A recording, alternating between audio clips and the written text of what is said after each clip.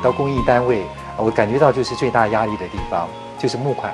还有募物资。国防部最受欢迎的发言人罗少河，今年五月退伍后投身做公益，到安德烈食物银行担任执行长。安德烈慈善协会在二零一一年成立，完全仰赖社会各界的物资捐赠及捐款，针对弱势家庭孩童提供食物包，让他们能够温饱。这边的都是我们根据呃一些不同的孩子他们的体质、他们的需求，也就是说，呃父母亲他们跟我们讲，他需要呃这个某种品牌的这个奶粉。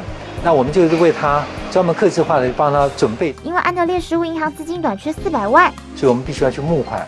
那以目前募款的状况来看的话呢，募款的成效还有努力的这个空间。没有现役将领的光环，没有公务体系的资源，一切都要靠自己去努力。碰到冷漠的企业老板会很受伤、很无力，但为了帮助孩子，罗少和不放弃。因为我们是在真心帮助许多需要帮助的这些孩子们，让他们能够。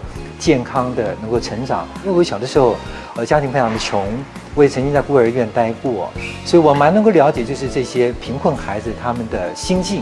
孩子是国家未来的希望。我的人生的上半场，如果说是在军旅服务，希望就是说能够用人生的有限之年哈，能够帮助这些孩子们，让他们能够。